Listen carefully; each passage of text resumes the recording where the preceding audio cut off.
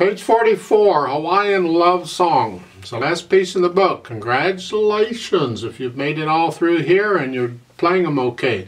If you've been struggling and it's really not happening for you and you're just not getting it, please go back through the book again because it will help. It really will.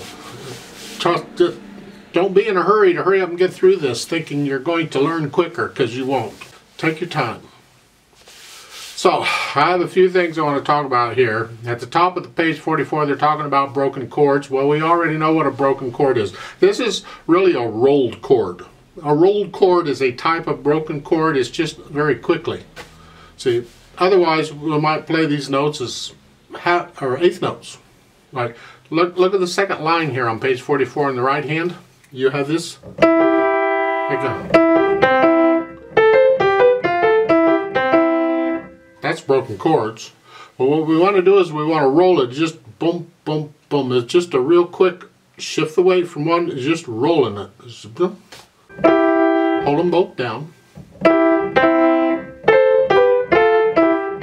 And the fun here is through a lot of these, at least with these thirds, that's an interval of a third. You're using 2-4 for all of them, so your hand's moving all over the place the way I do it. I put my hand in that position. I leave it in that position. And then I just aim the index finger. I mean, you could you could aim the aim the ring finger instead if you want to. Doesn't matter. The idea is, as long as your hand is in this position, the other finger, whichever one, will do what it needs to do. Have to look down at the keyboard quite a bit here on these jumps. But when you're just moving one key at a time, hopefully you can get to where you don't have to look at the keyboard for that. Very soft on the echo.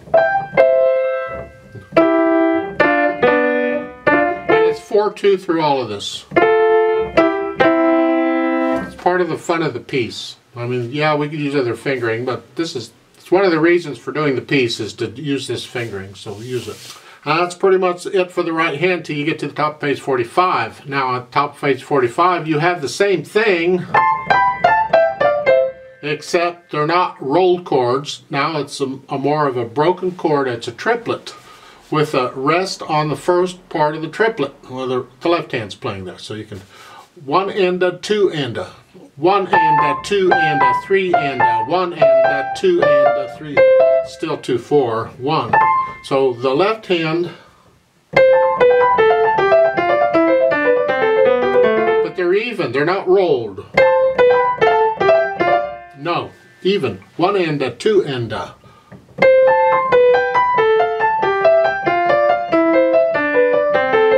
it, the right hand. I know I'm not playing all the notes in the left hand. It's not what I'm after. I'm after the right hand. This, that, that. Uh, even triplets. Till you get to the second line, then you're back to your rolled chords. Last measure of the second line on page 45. Rolled chords again, but now it's 1-5. Same thing, it's a real quick. then back to 2-4 till you get down to the bottom. Last few measures there. Let's take the third measure over. Start there on the last line. And then it's 1-5. And that's tied over. So you're going to hold it down for six counts. Now that first line on page 44, I skipped that. But again, they're just triplets. And it's telling you at the first measure, the left hand's going to do the first triplet. Right hand's going to do the next one. They're telling you left hand does the next one, right hand, and then the left hand does the high C. It's an 8VA, up here. Idea is keep them smooth. One and uh, two, uh, back to the triplets. One and uh, one and uh, two and uh, three and uh, four and uh, one, two, three.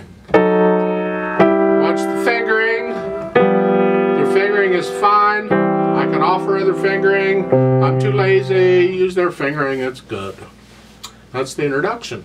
For the left hand, you just got these broken chords. You can do that okay until you get at the top of page 45. The left hand is now going to use 2 and 4, or 4 and 2 I should say, here. And you...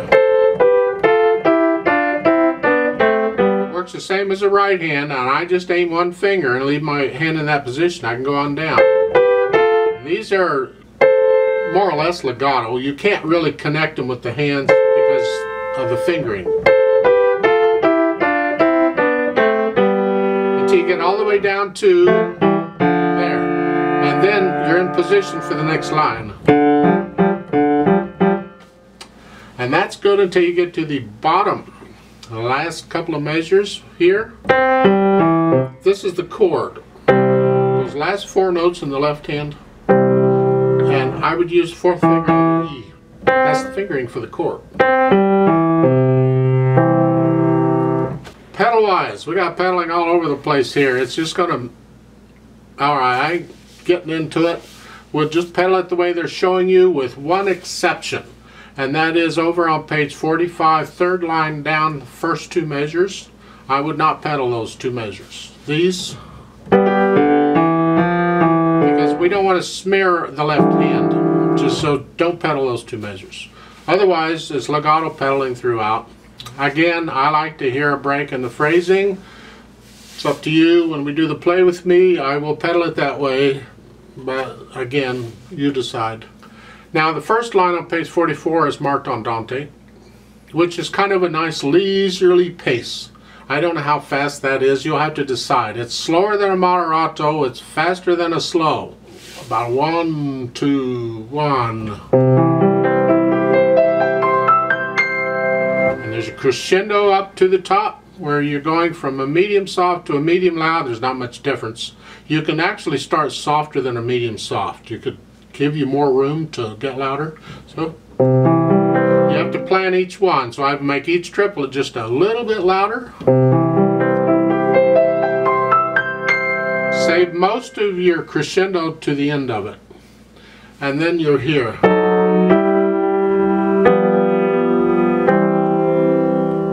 And then they, and starting with the second line, they say tempo di waltz. We've had this before.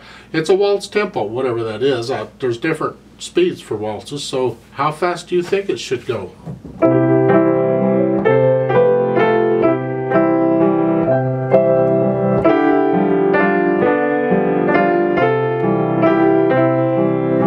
Any faster than what you can play accurately, so uh, your waltz tempo may be pretty slow. It's up to you.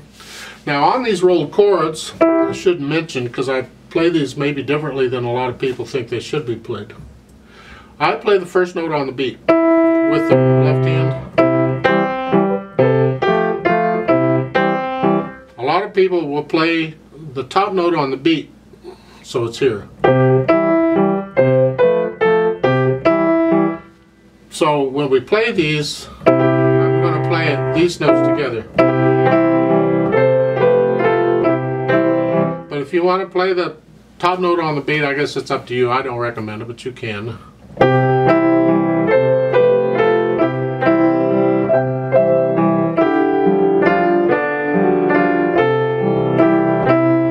But I'd still recommend the bottom note on the beat, and that's how I'm going to do it. Now, let's just cover all these symbols because they're all important. So at the beginning, 4-4 time, we're in the key of C major, no sharps or flats, do, go do the C major scale.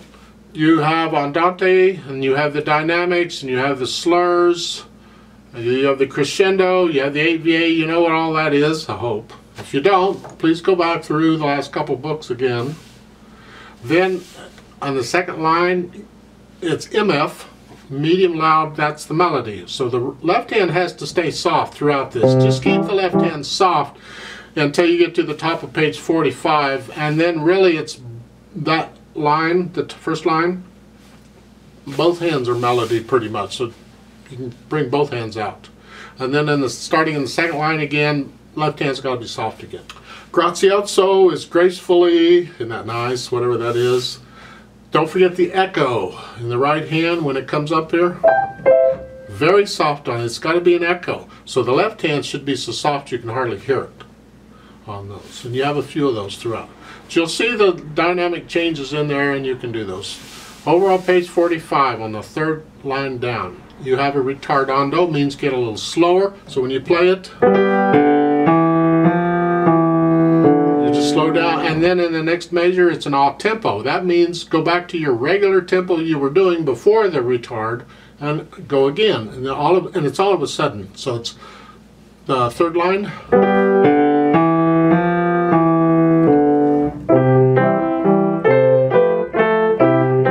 etc.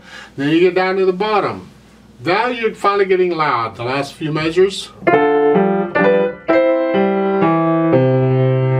It with a loudness. Don't know why, but that's what they're doing. Okay. So that's that. Now you're starting out in 4-4 time. One, two, three, four. One and a two and a three and a four and a one, two, three, four, until you get to the end of the first line. You see the three, four? Now the time signature is changed to three, four. The beat stays the same. The four, the quarter note is the same speed. Well, uh, they're saying it's a tempo to waltz, so you'd actually speed it up a little bit. So for the last couple measures of the first line going into the second, it's here. One, two, three, four. One, two, three, four. One, two, three, one, two, three, one, two. So all of a sudden I just changed speeds. And, and, and yeah, it works that way. And then you keep that pretty much throughout the rest of the piece. So at the beginning, let's try this out. Give us four counts. So the left hand starts it on the right hand, and you're going to move all over, and the foot's on the pedal. Here we go. One, two, three, and uh, go, and uh. One, two, three. Two, three, four. One, two, three,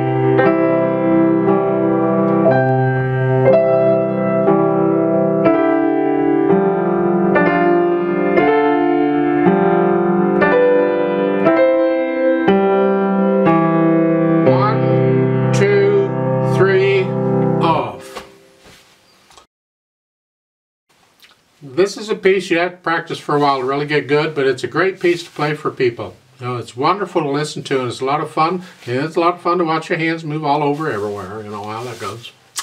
I'd play it something like this, I think.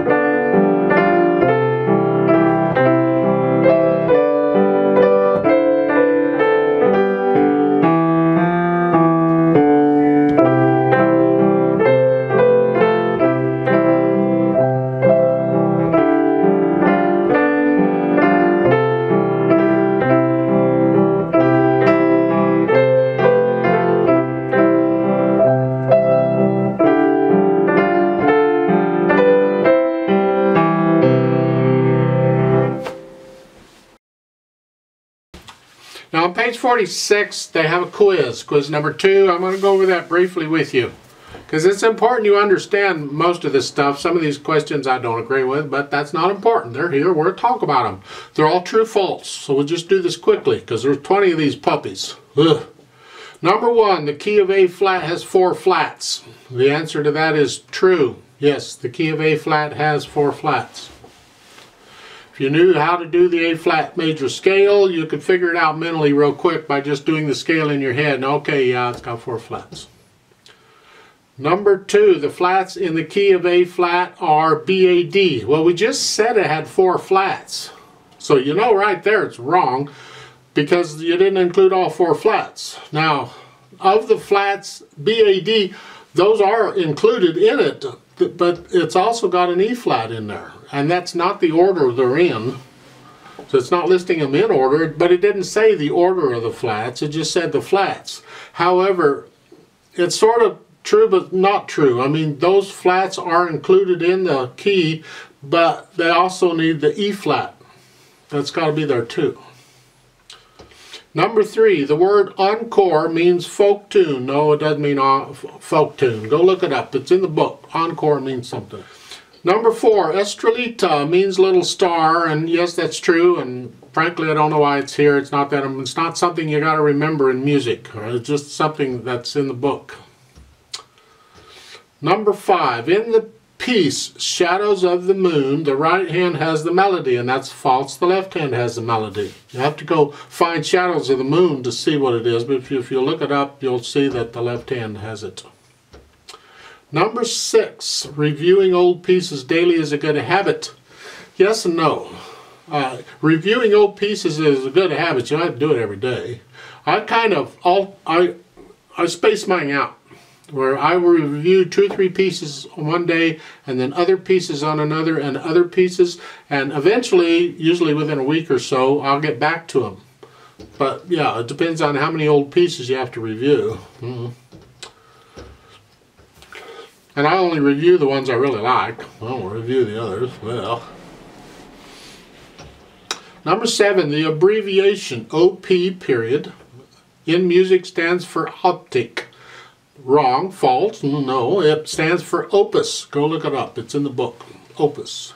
Number eight, Gertrude and Elizabeth were two of Beethoven's pupils. Well, according to the book, they were. I don't know if they were or not, but according to the book, they were. So, okay, it's fine with me. It must be true. Hmm. Number 10, the symbol, and they show a C with a slice through it, means 4-4 time, and that is false. A C, a common time, is 4-4 time. When you put the slice through it, that means cut time, and that's 2-2 time.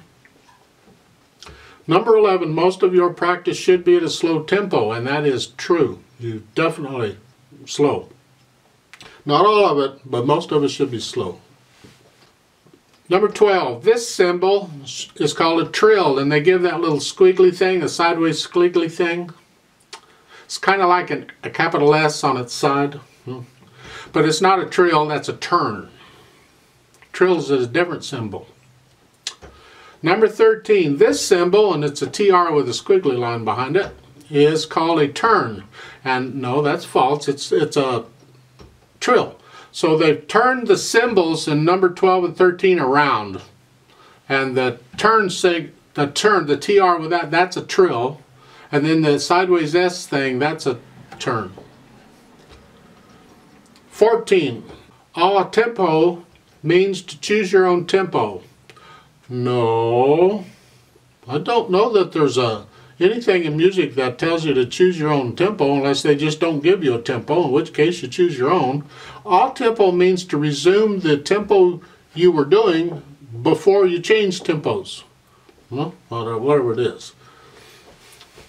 15. Lilac Time Serenade is by Schumann. That's false. It's by Schubert. Similar but different. They were contemporaries, but still different. 16. Tchaikovsky supported himself by his compositions.